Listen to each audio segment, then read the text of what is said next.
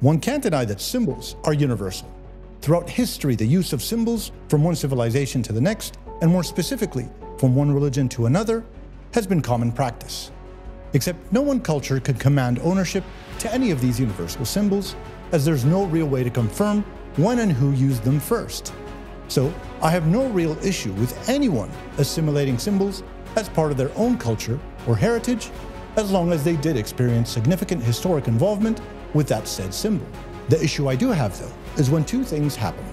When the people that are appropriating a certain symbol fabricate a full history and comprehensive narrative where the said symbol had belonged to them all along. And the other criticism is when the symbol becomes intertwined with unjust behavior and suppressive ideologies of those same people. And such a symbol that has historically seen its use take place across many a continental divide, and which has now been appropriated by a single nation, is the hexagram, the six-pointed star.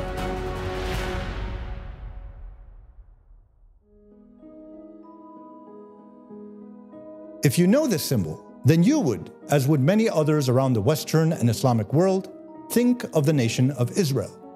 The six-pointed star adorns the national flag, and over the last 75 years has historically represented what many to believe the Jewish nation. But I must interject here and state that this thought or connection that is made is strictly the result of where targeted conditioning has led us. A byproduct of an intentional strategy to appropriate a symbol and retell its history to fall in line with a much larger narrative, the Zionist narrative. The great advantage and strength of history is when we use it as fact to justify our present and future. That is the norm. We look back at it and reference it to establish belonging and righteousness of cause. And Zionism recognized that any and everything related to its story had to have history and religion at its foundation. Its claim to a land, a chosen people, and its eventual employment of all utilized symbology in furthering its cause and narrative. And if that history did not exist, then it had to either mutate such a history or totally fabricate it to serve the Zionist purpose. So when we're exposed to the hexagram, our conditioning immediately triggers thoughts of the Star of David, alluding to the ancient Jewish legend of the biblical King David, whose shield was adorned with a universal symbol. With this trigger in your memory, you'd confirm the fact that Judaism and the hexagram were indeed intertwined. Yes, the Star of David and Judaism, hand in hand since eternity, right? Nothing, though, could be further from the truth. You see, this mythological narrative and its creation is not as ancient as you might think it to be. It's much more recent in the grander timeline of history, as recent as medieval times, when Muslim scholars in the 8th and 9th century CE, who were intrigued by an evolution of Islamic mythology, started to create their own narrative concerning the Seal of Solomon, a magical and mystical signet ring which was itself adorned with the hexagram and worn by King Solomon, the son of King David. This ring would endow the king with the powers to control demons and command them at his leisure. By the 12th century, these creations of Islamic mysticism spread across the whole Muslim empire, and shortly thereafter in Andalusian Muslim Spain. These narratives were then assimilated into the mystical branches of other faiths, such as Kabbalist Judaism and Christianity. There's a lot of proof that hexagrams have been a common geometric expression in use by humans as far back as 100,000 years ago, much, much before Abraham and Judaism. Other historians also claim that another civilization, ancient Egypt, utilized the same symbol since it reflected one of the most important forms of the ancient Egyptians, the pyramid. But the oldest known representation of the hexagram comes from another religion in the middle of the first century BCE, Buddhism, and further on from there with Hinduism. The hexagram for both these religions symbolized either one of two things the meeting of the masculine and the feminine that shapes human existence, or the position of man between the sky and the earth. From that point in history, many cultures then went on to reiterate such a universal symbol for their own set of beliefs. Moving beyond the questionable myths that link the Jewish nation with the hexagram early in human history, and after becoming aware of the reality of the cross-continental origins of the hexagram in Africa or in Asia, when did the Jewish nation become associated with the hexagram?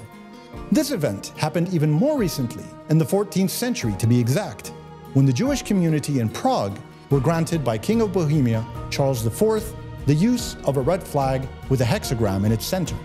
Over the next three centuries, the use of the six pointed star became commonplace amongst the various Jewish communities across Eastern Europe.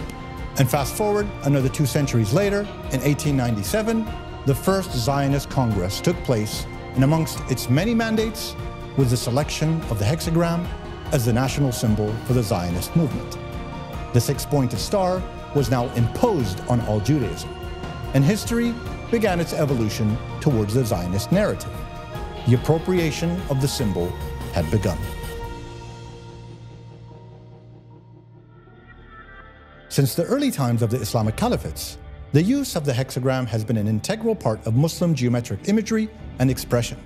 Such a shape was found in Islamic architecture, literature, and money. Even the Quran itself was decorated with hexagrams that were reflective of the balance of life necessary for the faith. It didn't really matter whether other faiths had either created the hexagram or had utilized such a symbol on their own religious buildings or decoratively within their holy scripture, it was a symbol for all. Unfortunately for Muslims, the hexagram's association with the creation of Zionism and eventually of Israel and its adoption as the national flag and symbol immediately caused a major uproar in its future application. As the establishment of Israel and its occupations came into reality, the less Muslims became willing in representing the hexagrams within their expressions, whatever such an expression might be. The more that time passed and the injustices by the Israelis continued, the less we would see the use of hexagrams. Even I, myself, fell victim to harsh criticism when once drawing an Islamic geometric pattern for art class that included a six-pointed star was told off by the teacher. We don't draw the Star of David, I remember her saying. This symbol now represented an enemy that was unjust and cruel. I cannot think of any symbols that have had such an impact on a significant population of the world and the severe pushback on its use. Maybe one other? But I believe that this, in actuality, is our fault, the Arabs. Our fault for allowing our sentiment to get in the way of defending what belongs to our heritage and history. The Islamic use of the hexagram was much more abundant and expansive than that of the Jewish nation's application, and for a much longer period of time. Why did we have to give in to those who wanted to change the facts or impose their will on us? We should have carried on with what the symbol meant for us and as part of our unique identity and expression. Zionism is coming for much more of Arab existence. Our food, our expression, our words, and our memory.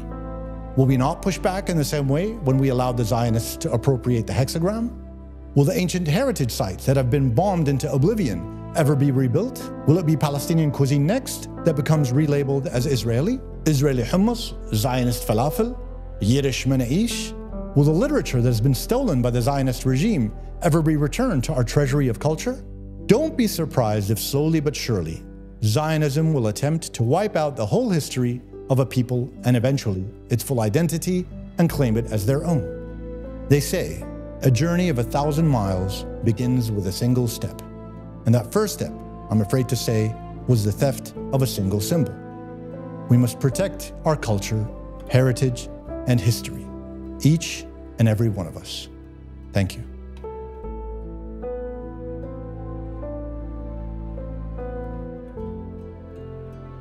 Thank you for watching. It would be absolutely amazing if you joined the Kandari Chronicles. Helping us grow through subscribing will definitely lead to major improvements on both a qualitative and quantitative front. We'd appreciate it greatly if you click the like button as well as the notification icon so you don't miss any of our upcoming releases. I'm very grateful for your time and your patience. Bye bye.